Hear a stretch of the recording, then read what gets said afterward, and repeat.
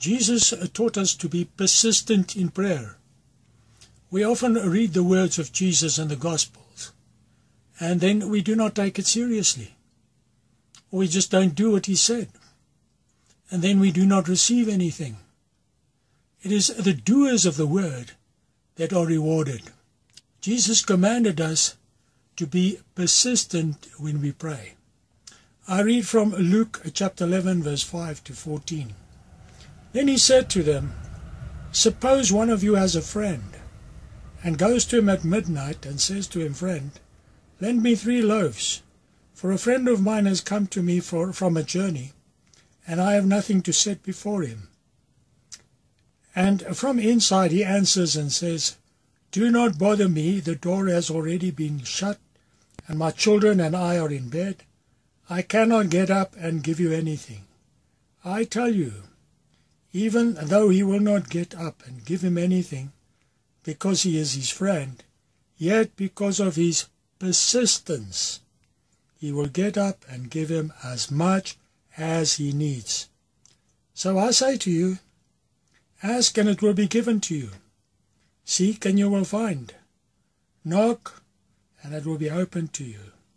For everyone who asks receives, and he who seeks finds, and to him who knocks it will be opened. Now suppose one of you fathers is asked by his son for a fish.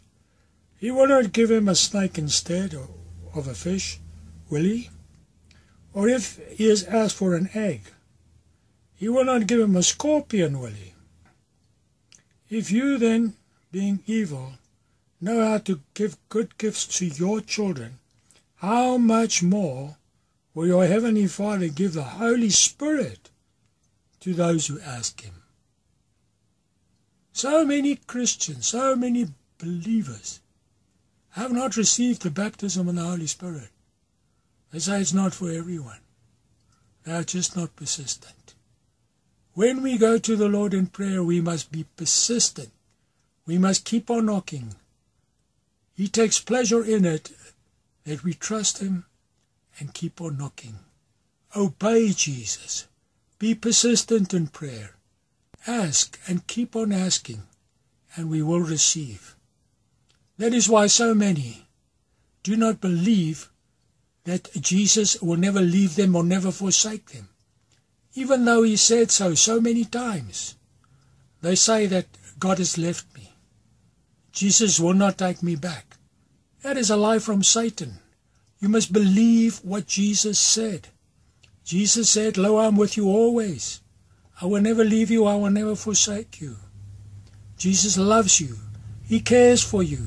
He will not change. He does not change. He's not a man. Believe what he said and do what he tells you to do. Trust him, obey him, and you will receive. Be persistent in your walk with Jesus. Be persistent in our prayer life, and we will receive. Ask, and we will receive. Knock, and it will be opened unto us. Jesus Christ is the same yesterday, today, and forever, and he never changes. Trust him. May Jesus bless you. Jesus Christ is alive and hell is real. I am here to introduce you to Jesus Christ so that you can know him and follow him and have eternal life.